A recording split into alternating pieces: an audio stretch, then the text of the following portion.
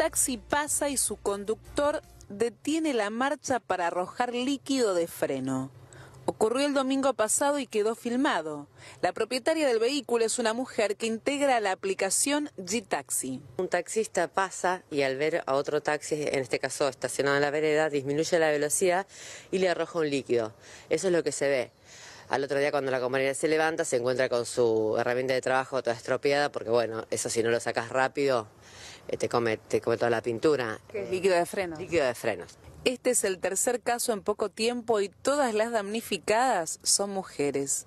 Las taxistas temen que se trate de un ataque machista, teniendo en cuenta que reparar los daños de chapa y pintura es costoso. Tenemos estas, estos actores dentro del gremio que no sé si son producto de, que se generan a raíz del, del odio los generadores de odio que vienen hace años en WhatsApp instalando un montón de cosas, material tenemos de sobra.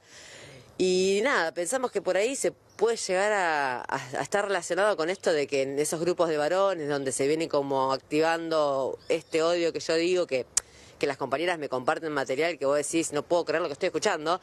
Y bueno, siempre en un grupo tenés distintos niveles de saludes mentales, le digo yo. Entonces, si esta información le cae a alguien que no está muy bien, y bueno, termina sucediendo en estas cosas. María Eva Juncos, creadora de G-Taxi, admite que entre los conductores del servicio hay un grupo minúsculo que expresa sin tapujos su odio hacia las mujeres taxistas y teme que estén detrás de estos hechos vandálicos. Las compañeras están recaudando la información de la dirección, la hora y el día para ver si a través del monitoreo se puede establecer como un patrón para saber si trata de un tirador serial de líquido de freno o de una organización, porque a ver, este es el autor material si quiere, pero detrás eh, las caras que no se ven, están continuamente con instalando a través de WhatsApp el odio con esta aplicación, con las mujeres. Es un grupo menor, hay que decirlo, porque no es todo el gremio, porque como te digo esto, también te digo que hay compañeros que son muy solidarios, pero bueno, nosotros nos enfocamos en esto porque nos trae y nos genera mucho perjuicio, no solamente en lo material, sino en lo anímico para poder salir a trabajar.